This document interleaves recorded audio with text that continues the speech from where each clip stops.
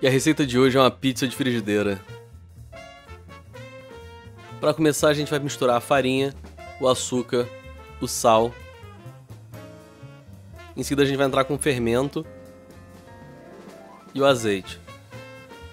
Mistura isso tudo muito bem e começa a adicionar água aos poucos. Vai misturando a massa. Se precisar, coloca um pouco mais de água.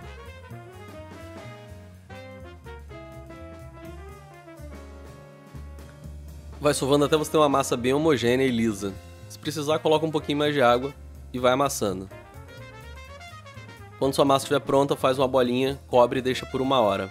Enquanto isso, a gente vai fazer um molho de tomate rapidinho aqui. A gente vai dourar dois dentes de alho. E quando estiver douradinho, você entra com sua passata de tomate. Tempera com sal e pimenta. Bota um manjericão e deixa reduzir por uns 3 minutos. E seu molho está pronto. Uma hora depois sua massa está pronta, a gente vai abrir ela com a ajuda de um rolo. Abre até ficar no tamanho da sua frigideira. Eu vou medir o tamanho dela usando a minha frigideira e vou fazer as bordas enrolando a massa. Minha frigideira já está pré-aquecida em fogo médio-baixo ali. Eu vou colocar a massa e deixar criar uma casquinha embaixo. E aí eu vou virar, deixar dourar bem esse lado. E aí a gente vira de novo.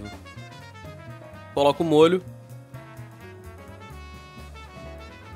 Queijo mussarela.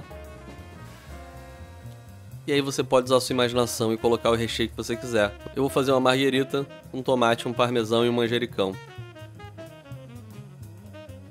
Terminou o recheio, cobre. Em uns 5 minutinhos sua pizza deve estar pronta. Vê se ela está douradinha embaixo. Se tiver, é só tirar e comer.